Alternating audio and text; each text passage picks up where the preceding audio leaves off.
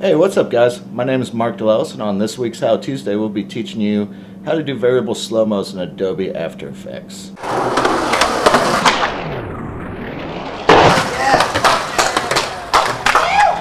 Okay, so the first thing you're going to want to do after you open up After Effects is click on Composition and select New Composition. If you're using DV clips, this is exactly how you want to have your composition set up. I usually set up a folder of all the clips I want to do slow-mos with. That way you can get them all done in one shot. The next thing you want to do is highlight the clip you're going to work on. For right now we're going to do Torres Back 360 Carlsbad High. You're going to right click on the clip, go down to Interpret Footage, click Main. Because we're working with a DV clip here, we have to make sure that separate fields is lower field first. We're going to want to grab it from up here and pull it down into your composition. Now go down to your timeline window and highlight the clip that you just put down there. Go up to your main toolbar and click Layer. Then scroll down to Enable Time Remapping. That's what we're going to use to do the variable slow-mo on this clip.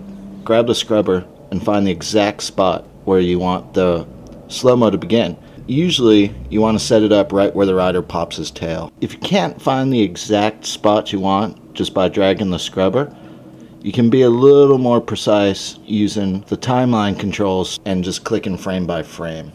Go back down to your timeline and next to the time remap, you're going to click that box to the left which is going to set your first keyframe where you wanted the clip to start. We're now going to repeat that process for the outro of the slow-mo now that we've chosen our in and out for the slow-mo, we want to highlight the out keyframe by holding down shift and click. And also the keyframe that's all the way at the end of the timeline to the right hand side. Again, hold down shift and click. With both of those highlighted, you're going to now want to go back to your out keyframe, click on it, and drag it to the right. On the left hand side, you'll notice that the percentage changes as you drag the keyframe to the right the further you pull it, the slower the clip gets, and you can see that through the percentage changing.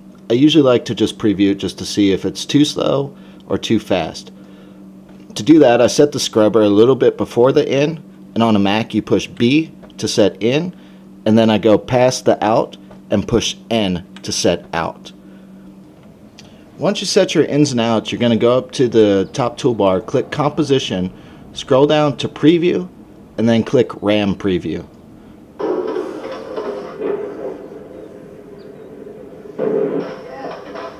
Now that the speed's how I like it, I usually go back down into the timeline and I set the scrubber up to where I think the focus of the clip should be. For this one, it's going to be somewhere towards the middle of the rotation. What I do is I grab these toggle bars and I bend the clip on both sides to make sure that the dip is in the middle of where the scrubber is. What that's going to do is it's going to give you a smoother in and out. To give you an example, this is what it looks like without the toggle arms used.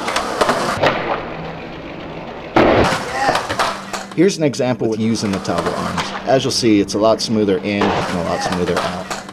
Now that we got the clip how we want it, we're going to get ready to export. What you want to do is set your in to the beginning of the clip and your out at the end of the clip. We're going to move up to the toolbar, select composition, scroll down, and choose make movie, which will bring us to the render queue.